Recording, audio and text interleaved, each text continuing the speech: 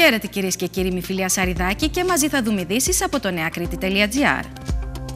Χίλιες θέσεις εργασίας κατά την περίοδο κατασκευής και πολλαπλάσιες μόνιμες θέσεις κατά τη λειτουργία του φέρνει το νέο αεροδρόμιο Καστελίου. Μέχρι τις 15 Φεβρουαρίου οι τελικές υπογραφές στη σύμβασης παραχώρησης, ενώ στη συνέχεια οδεύει προς κύρωση στη Βουλή.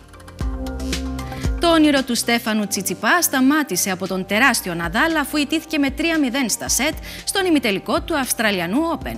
Ο Έλληνας ταινίστας όχι μόνο αποχώρησε με ψηλά το κεφάλι, αλλά έχει κάνει ολόκληρη την Ιφίλιο να υποκλίνεται στο ταλέντο του. Ανέλπιστο δώρο για συλλόγους που κάνουν τεράστιες προσπάθειες με στόχο να αγοραστούν αναπηρικά αμαξίδια για συμπολίτες μας. Τα καπάκια από τα μπουκάλια που συγκεντρώθηκαν θα διατεθούν από τον ΕΣΔΑΚ για τον ιερό αυτό σκοπό. Για ειδήσεις από την Κρήτη, την Ελλάδα και τον κόσμο, μπείτε στο νεακρήτη.gr και ακολουθήστε μας στα social media. νεακρήτη.gr, η ενημέρωση στα χέρια σου.